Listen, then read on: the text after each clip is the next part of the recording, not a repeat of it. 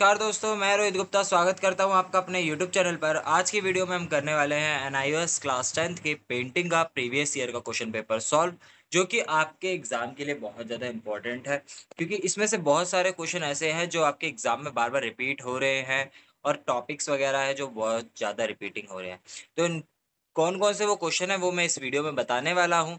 तो वीडियो पूरी एंड तक देखिएगा ताकि आपको अच्छे से पता लग सके और आपका एग्ज़ाम अच्छे से जाए। तो स्टार्ट करते हैं वीडियो बिना टाइम वेस्ट करे। उससे पहले मैं आपको बता देता हूँ पेंटिंग का एग्ज़ाम कितने मार्क्स का होता है। थ्योरी जो है आपका थर्टी मार्क्स का होता है, जिसमें सिक्स मार्क्स जो है आपके टीएमए के होते हैं। ठीक है? तो ट्वेंटी जब ये थर्टी मार्क्स का होता है तो इसको जब आपका रिज़ल्ट आएगा, उसको थर्टी को कन्वर्ट करके ट्वेंटी फोर कर दिया जाता है तो जो भी मार्क्स आपके आएँगे, वो ट्वेंटी फोर आउट ऑफ़ दिखाएँगे। ठीक है? और टी टीएमए भी आपको छः में से मार्क्स दिखा रहा होगा तो स्टार्ट करते हैं क्वेश्चन नंबर वन से। और हिंदी और इंग्लिश दोनों में है ये। तो अगर आपको ये पीडीएफ चाहिए होगा तो आप हमें व्हाट्सएप पे कांटेक्ट कर सकते हैं। मेरा व्हाट्सअप नंबर आपको नीचे और डिस्क्रिप्शन दोनों जगह दिख रहा होगा। लिंक भी डिस्क्रिप्शन में मिल जाएगा, जिससे आप हमें डायरेक्ट कॉन्टैक्ट करके ये पीडीएफ परचेज कर सकते हैं। तो पहला क्वेश्चन है give a general introduction of Hoysala art Hoysala कला का सामान्य परिचय दीजिए।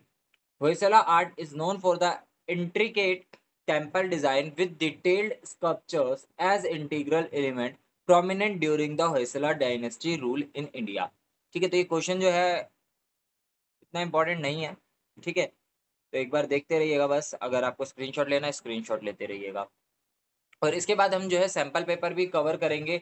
सैंपल पेपर दिखाऊँगा, आपको वेटेज दिखाऊँगा, कौन सा चैप्टर कितने मार्क्स का आ रहा है, कौन सा चैप्टर इंपॉर्टेंट है, सारी चीज़ें इस वीडियो में कवर हो जाएँगी। और इसके बाद जो है आपको पूरे एक मैराथन क्लास मिलेगी पेंटिंग की, उसको देख लेना आपने तो सिलेबस भी आपका पूरा कवर हो जाएगा। उसमें भी मैंने आपको जो जो इंपॉर्टेंट टॉपिक्स है, वो एक्सप्लेन कर रखे हैं। तो यहाँ पे क्वेश्चन नंबर टू आ जाता है आपका define utilita utilitarian folk art utilitarian folk art refers to practical functional artistic creation produced by rural artist without formal training serving everyday needs in a area like wood carving, embroidery, basket work and poetry. ठीक है उपयोगिती sorry उपयोगितावादी लोक कला को परिभाषित कीजिए इसके बाद next question जो कि यहाँ पे आ जाता है, कंथा के बारे में पूछा हुआ है। तो ये मोस्ट इंपॉर्टेंट क्वेश्चन है, मैं आपको पहले ही बता दे रहा हूँ। ये ज़रूर करना है आपने और इम्पोर्टेंट क्वेश्चन के पीडीएफ चाहिए हो तो उसके लिए आप हमें व्हाट्सएप पे कांटेक्ट कर सकते हैं।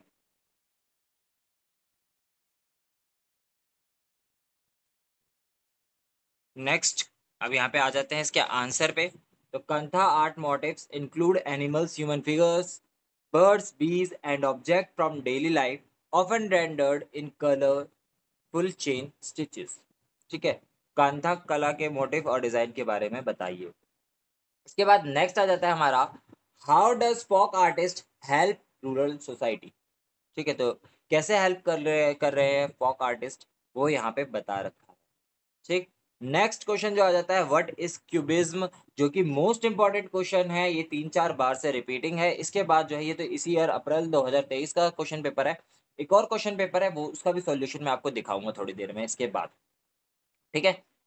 तो यहाँ पे आपका ये हो जाता है क्यूबिज्म के बारे में who are the artist to begin this style ठीक है? What is cubism who are the artist to begin this style तो यहाँ पे आ जाता है cubism is the style of painting and sculpture in which everything in nature is treated as cylinder and spherical ठीक है? तो यहाँ पे क्या है? घनवाद एक चित्रकला और मूर्तिकला की शैली है, जिसमें प्राकृतिक रूप से सब कुछ एक सिलेंडर और गोले के रूप में दर्शाया जाता है। सिलेंडर यानी कि आप यहाँ पे बेलन बोल सकते हो, बेलन आकार, ठीक है?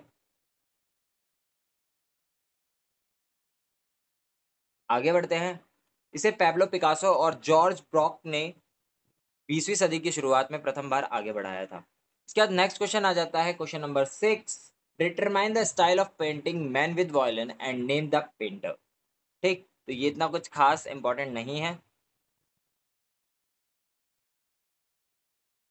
बस आपको ये याद रख लेना है। नाम कौन था? पेंटर का नाम वगैरह बस। नेक्स्ट क्वेश्चन आ जाता है। Name two famous painter of surrealism style ठीक है, ये क्वेश्चन इंपॉर्टेंट बोल दूँगा, यहाँ पे डेफिनेशन भी आएगी आपकी इसकी। तो ये ये आपको याद कर लेना है अच्छे से। ठीक है? यहाँ तक आपके एक एक मार्क्स के क्वेश्चन थे। अब जो है आपके दो मार्क्स के क्वेश्चन स्टार्ट हो जाते हैं। क्वेश्चन नंबर एट क्या बोला हुआ है? What are the characteristics of Ajanta painting Ajanta paintings के क्या करेक्टरिस्टिक थी? Ajanta painting located in Maharashtra depict religious themes notable the life of Buddha और ये भी क्या है? इंपॉर्टेंट क्वेश्चन है, मैं आपको बता दूँ। जो जो इंपॉर्टेंट क्वेश्चन है साथ साथ बताते हुए भी चल रहा हूँ मैं। They are executed in the temper technique, not fresco, with vibrant colors artist shows creative prowess making religious art accessible exemplified by the graceful black princess painting with its lyrical soft qualities ठीक है तो अजंता चित्रकला की लाक्षणिकताएँ क्या हैं तो यहाँ पे इसका आंसर आ जाता है आपका इसके बाद नेक्स्ट आ जाता है डांसिंग गर्ल जो कि बहुत ज़्यादा इंपॉर्टेंट है और एक्सप्लेनेशन का लिंक मैंने डिस्क्रिप्शन में डाल दिया है थोड़ी देर में वो वीडियो भी आपकी स्टार्ट हो जाएगी तो दोनों देख लीजिएगा अच्छे से। यहाँ पे डांसिंग गर्ल का आ जाता है, जिसके बारे में यहाँ पूरा एक्सप्लेन किया गया अच्छे तरीके से। जो जो था ये पूरा आंसर आपको अच्छे से याद कर लेना है, क्योंकि क्वेश्चन बहुत ज़्यादा इंपॉर्टेंट है। एक मार्क्स में, दो मार्क्स में या तीन मार्क्स में, तीनों में से किसी में भी आ सकता है, बहुत ज़्यादा इंपॉर्टेंट है ये। नेक्स्ट आ जाता है what does artistic movement impressionism symbolize mention some of the famous artist of this movement ठीक है? प्रभाववादी कला का आंदोलन किस विचारधारा का प्रतीक है? इस आंदोलन के कुछ प्रसिद्ध कलाकारों के नाम गिनवाइए, गिनाइए। ठीक है? इसके बाद नेक्स्ट आ जाता है आपका। Why was Degas different from other impressionist painter when did he paint the dance class अब ये जो है, ये आपकी बुक का ही क्वेश्चन है। ठीक है? ये आप जब अपना चैप्टर देखोगे तो उस बुक में ही ये क्वेश्चन दिया हुआ है। दो क्वेश्चन अलग अलग है, उनको बस यहाँ पे एक साथ कर दिया गया है। ठीक तो इसका आंसर इतना ही होगा। नेक्स्ट आ जाता है explain the painting starry night ये भी बहुत ज़्यादा इंपॉर्टेंट क्वेश्चन है, काफ़ी बार एग्ज़ाम में पूछा गया है। तो इसके बारे में यहाँ पे आ जाता है आपको उसको याद कर लेना है अच्छे से। फटाफट से स्क्रीनशॉट लेते हुए चलिएगा, क्योंकि टाइम बहुत कम है आपके पास। ठीक है, इसके बाद नेक्स्ट आ जाता है what do you know about progressive artist group name few artist of this group progressive artist group के बारे में पूछा गया है यहाँ पे। ठीक है प्रोग्रेसिव आर्टिस्ट ग्रुप के बारे में क्या जानते हैं? इस ग्रुप के कुछ कलाकारों के नाम बताइए। तो यहाँ पे आपका ये आ जाता है, ठीक है? इसके बाद नेक्स्ट क्वेश्चन आ जाता है describe the painting words and symbols जो कि मोस्ट इंपॉर्टेंट क्वेश्चन में से एक है। ये क्वेश्चन भी आपको कर लेना, बाकी इस क्वेश्चन जो आपका ये क्वेश्चन पेपर का सॉल्यूशन है, इसको तो अच्छे से याद कर लेना है आपको। ठीक है? नेक्स्ट हिंदी में देख लेते हैं वर्ड्स एंड सिंबल्स चित्र का वर्णन कीजिए। इसके बाद क्वेश्चन नंबर फिफ्टीन आ जाता है आपका। यहाँ से जो है आपके तीन मार्क्स के क्वेश्चन स्टार्ट हो जाते हैं। फिफ्टीन, सिक्सटीन, सेवनटीन, तीन जो है आपके क्वेश्चन जो है थ्री थ्री मार्क्स के आएँगे। Recognize the material use to decorate the temples of Vishnupur describe the appreciate the decoration describe and appreciate the decoration ठीक है तो यहाँ पे आपका आंसर आ जाता है। ठीक? विष्णुपुर के मंदिरों की सजावट में किस सामग्री का प्रयोग किया गया है? इस सजावट का वर्णन करते हुए एक प्रशंसक लेख लिखिए। तो यहाँ पे इसका आंसर आ जाता है। ठीक है? इसके बाद नेक्स्ट क्वेश्चन आ जाता है, जो कि मोस्ट इंपॉर्टेंट क्वेश्चन है रिनायंस का। मैंने बताया हुआ है ये भी कि ये बहुत ज़्यादा इंपॉर्टेंट है। Explain the main feature of this period इस पीरियड का मेन फीचर क्या है, वो भी आपको एक्सप्लेन करना है तो यहाँ पे आपका आंसर आ जाता है। रिनायंस मीनिंग रिवर्थ ठीक है? आगे आंसर यहाँ पे दे रखा है। ठीक? उसके बाद हिंदी में आ जाता है पुनर्जागरण शब्द का क्या अर्थ है? इस युग की मुख्य विशेषताओं का वर्णन कीजिए। इसके बाद जो है मैं आपको वेटेज बताऊँगा। Write and appreciative note on Sandro Botticelli ये इतना कुछ खास इंपॉर्टेंट क्वेश्चन नहीं है।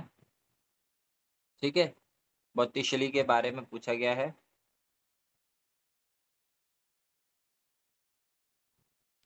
के बाद नेक्स्ट क्वेश्चन जो कि ये राजा रवि वर्मा का है मोस्ट इंपॉर्टेंट क्वेश्चन है। Raja describe the subject and technique of Raja Ravi Varma painting ठीक है? या तो इनके टेक्निक्स वगैरह के बारे में पूछ लेता है या इन्हीं के बारे में पूछ लेता है काफ़ी बार क्वेश्चन में। ठीक है? राजा रवि वर्मा की चित्रकारी की विषय वस्तु, वस्तुओं तथा तकनीक का वर्णन कीजिए। ठीक है? अब जो मैं आपको सैंपल पेपर दिखा देता हूँ और उससे पहले वेटेज दिखा दूँगा, कौन सा चैप्टर करना है, कौन सा नहीं करना है। यहाँ से आ जाता है आपका पेंटिंग का सैंपल क्वेश्चन पेपर डिज़ाइन ठीक है? तो यहाँ पे वेटेज आ जाता है कि कौन से क्वेश्चन कितने मार्क्स के आएँगे। तो यहाँ पे देखोगे तीन क्वेश्चन आएँगे, तीन मार्क्स वाले, ठीक है? सात क्वेश्चन आएँगे, दो दो मार्क्स वाले और एक क्वेश्चन आएगा सॉरी सात क्वेश्चन आएँगे, एक मार्क्स वाले, ठीक है? तो थर्टी मार्क्स आपका हो जाता है। अब किस चैप्टर से कितने क्वेश्चन आएँगे, यहाँ पे ये भी बता रखा है। तो मॉड्यूल वन आप देखेंगे तो मॉड्यूल वन का यहाँ पे वेटेज बता दिया गया है। पहला चैप्टर जो है चार मार्क्स का है, ठीक है? तो पहला चैप्टर आपको अच्छे से कर लेना है बुक में से पढ़ लेना है, ठीक? उसके बाद दूसरा चैप्टर आप छोड़ सकते हो, एक मार्क्स का ही क्वेश्चन आएगा, उसमें से एक ही क्वेश्चन आएगा। और तीसरे चैप्टर में एक क्वेश्चन आएगा, तीन मार्क्स का। चौथे चैप्टर में तीन क्वेश्चन आएँगे एक एक मार्क्स वाले। इसके बाद आपका introduction of world art chapter number five में से एक मार्क्स के सॉरी एक क्वेश्चन आएगा, तीन मार्क का, ठीक है? उसके बाद चैप्टर सिक्स जो है, बहुत ज़्यादा इंपॉर्टेंट है। चैप्टर सिक्स आपको अच्छे से कर लेना है। चैप्टर सिक्स चैप्टर सेवन और चैप्टर वन ये तीन चैप्टर भी आपने अगर अच्छे से कर लिया तो पेंटिंग में आप आराम से पास हो जाएँगे और ये बाकी का पीडीएफ जो है, पढ़ लीजिएगा। तो आपका पेंटिंग का एग्ज़ाम अच्छे से निकल जाएगा। क्योंकि अभी वैसे भी काफ़ी टाइम है, अगर तीन चैप्टर आपको कवर करना है तो कोई ज़्यादा डिटेल में जाने की ज़रूरत भी नहीं है, ठीक है? ये पीडीएफ पढ़ लीजिएगा और बाकी तीन चैप्टर को पढ़ लीजिएगा, आपके अच्छे खासे मार्क्स आ जाएँगे गारंटीड आपके ट्वेंटी प्लस मार्क्स आ जाएँगे अगर आप इतना कर लेते हैं तो। ठीक है? ये तीन चैप्टर, ठीक है? क्योंकि छः मार्क्स का ये आएगा, तीन मार्क्स का वो आएगा और चार मार्क्स का वो आएगा। इसके बाद नेक्स्ट जो आ जाता है आपका चैप्टर नाइन जो कि ये भी इंपॉर्टेंट है तो चार मार्क्स का ये भी हो जाता है आपका, ठीक है? चैप्टर नाइन कौन कौन से चैप्टर करने एक बार फिर से मैं आपको बता देता हूँ। चैप्टर नाइन कर लीजिएगा, चैप्टर सिक्स कर लीजिएगा, चैप्टर सेवन कर लीजिएगा और चैप्टर वन कर लीजिएगा। तो ये चार चैप्टर आपने कर लिए तो आप अच्छे खासे मार्क्स स्कोर कर सकते हो। ठीक, अब आ जाते हैं यहाँ पे सैंपल क्वेश्चन पेपर पे। तो देखो, आप यहाँ पे देखोगे इंग्लिश मीडियम में दिखा रहा है। अगर आप हिंदी मीडियम की बुक डाउनलोड करोगे तो उसके बुक के पीछे के साइड में दे रखा है। मैं दोनों बुक का पीडीएफ जो है टेलीग्राम चैनल पे अपलोड कर दूँगा और लिंक डिस्क्रिप्शन में डाल दूँगा, वहाँ से आप डाउनलोड कर सकते हैं। और अगर तक आपने अभी अभी भी हमने हमारे व्हाट्सअप चैनल पे फॉलो नहीं करा है तो फटाफट से फॉलो करें। मैंने लिंक डिस्क्रिप्शन में डाल दिया है, वहाँ पे भी बहुत सारी अपडेट्स वगैरह आपको मिलती रहती हैं और पिक्चर्स वगैरह जो है, इससे रिलेटेड इंपॉर्टेंट क्वेश्चन की, वो भी वहाँ पे आती रहती है। तो यहाँ पे आपका पहला क्वेश्चन देखिए डांसिंग गर्ल का ही आ जाता है। फिर नेक्स्ट क्वेश्चन है choose a painting from Ajanta and appreciate its style and technique तो ये भी अब मैंने बताया था। अब यहाँ पे कोरनाक का सूर्य टेंपल ठीक है, वो बहुत ज़्यादा इंपॉर्टेंट है, वो मैंने आपको वीडियो में बता रखा है, उस वीडियो को ज़रूर देखिएगा।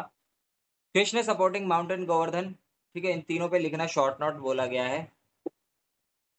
सॉरी एनी वन किसी एक पे बोला गया है। तो यहाँ पे कोरनाक पे आप लिख सकते हो, ठीक है।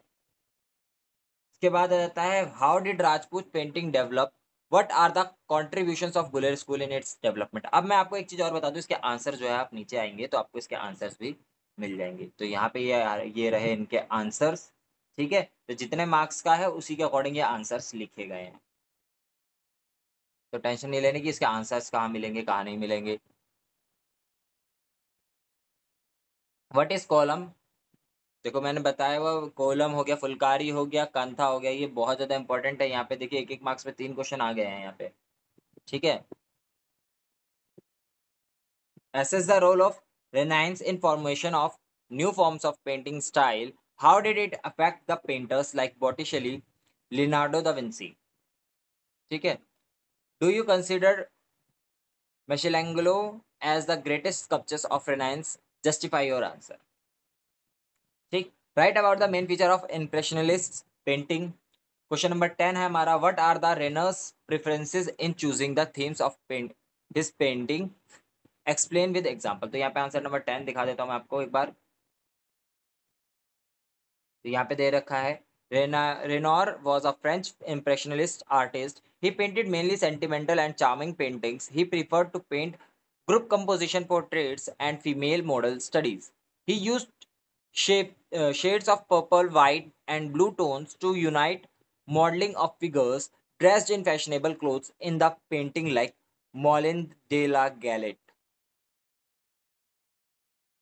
ठीक है? नेक्स्ट क्वेश्चन हमारा question number eleven write two important features of Cezanne painting still life with onions ये इतना कुछ इंपॉर्टेंट क्वेश्चन नहीं है, लेकिन यहाँ पे जो है देखेंगे आपकी दोबारा से आ जाता है what is cubism who are the artist begin this style देखोगे आप, ये क्वेश्चन पहले भी आ रखा है, अभी देखिए, यहाँ पे दे रखा है, आपको सैंपल पेपर में भी दे रखा है, और जो अप्रैल में पेपर हुआ था, उसमें भी ये question same to same question आया हुआ था। तो इससे पता चलता है कि कितना इंपॉर्टेंट है सैंपल पेपर को आपकी प्रैक्टिस करना, ठीक है? तो सैंपल पेपर भी आपको अच्छे से कर लेना है, ठीक है?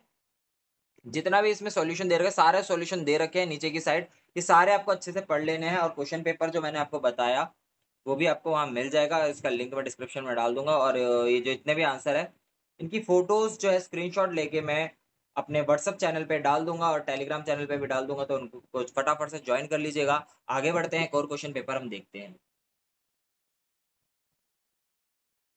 तो यहाँ पे आपका ये अप्रैल 2022 का क्वेश्चन पेपर सॉल्यूशन है। What we find in Mahabalipuram ठीक है तो ये इतना इंपॉर्टेंट क्वेश्चन नहीं है। What is the meaning of phulkari name the state it is related to ठीक है तो यहाँ पे इसका आंसर आ जाता है। इसके बाद नेक्स्ट क्वेश्चन है when did Wassily Kandinsky paint black lines तो यहाँ पे आ गया आपका। Mention two Picasso's famous period तो पहला ब्लू पीरियड 1900 से 1902 और दूसरा क्या है रोज पीरियड 1905 से 1907 तक। इसके बाद दोबारा से क्वेश्चन आ जाता है what do you mean by term cubism तो इसका आंसर आपको यहाँ देखने को मिल जाता है। इसके बाद अजंता के बारे में पूछा गया यहाँ पे where is the Ajanta caves in which phase of Ajanta painting black princess was done ठीक है तो यहाँ पे आपका इसका आंसर आ जाता है। और इसके बाद यहाँ पे आप देखोगे दोबारा से डांसिंग गर्ल का क्वेश्चन यहाँ पे भी आ रखा है। तो ये क्वेश्चन जो है बहुत ही ज़्यादा इंपॉर्टेंट है। ठीक है? इसके बाद कंथा साड़ी के बारे में पूछा हुआ है डिस्क्राइब द कंथा साड़ीज तो इसको अच्छे से एक्सप्लेन किया गया है। ये भी स्क्रीनशॉट ले लीजिएगा इंग्लिश मीडियम में। Describe the painting starry nights तो यहाँ पे देखोगे आप, ये अप्रैल में भी आया था और इस वाले अप्रैल में भी आया था। ठीक है? इसके बाद आ जाता है हमारा describe the painting water lilies ये भी बहुत ज़्यादा इंपॉर्टेंट क्वेश्चन है। ठीक?